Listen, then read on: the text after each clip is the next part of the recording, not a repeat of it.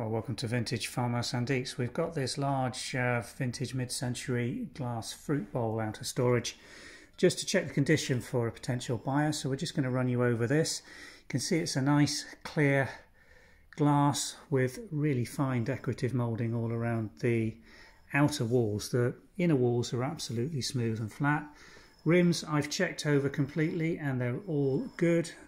No chips, no scratches, no sharp edges and the underside again on the base really nice and clean around the rims with absolutely no damage. It is a substantial and heavy thing, probably weighs around two kilograms.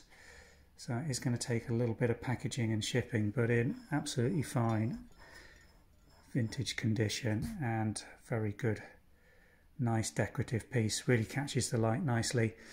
There is a slight little bit of, you know, with glass you get this sort of greenish tinge in it, but really because of the thinness of the glass here, it's not particularly noticeable and in the light here, you'll see when it's well lit, it is a crystal clear piece of pressed glass. Really nicely decorated and in fine condition. Thanks for watching.